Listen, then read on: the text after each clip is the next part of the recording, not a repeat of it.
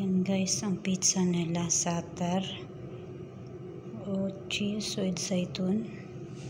Ito yung fatire na hotdog ang laman. At saka ito naman ay curry cheese ang laman.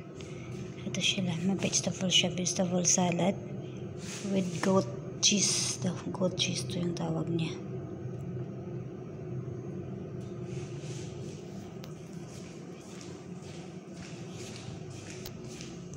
Kasi pangatlong araw ng ano ng mga amo ngayon kainan nila pangatlong araw. At saka hanggang isang buwan.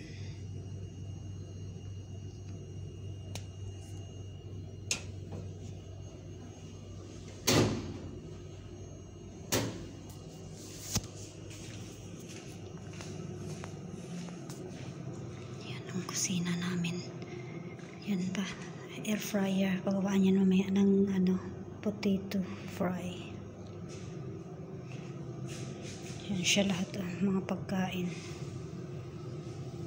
Araw-araw yan daming mga pagkain nilang pinapagawa. At saka ito naman ay saria rice. Saria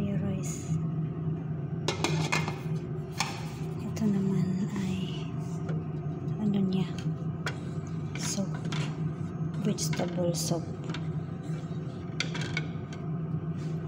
Saka mayroon din na ano white rice. White rice para sa amin.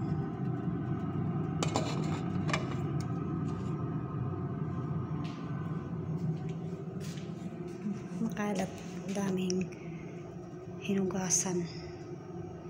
Yan ang kusina. Yan ang tsura sa kusina namin araw-araw ng.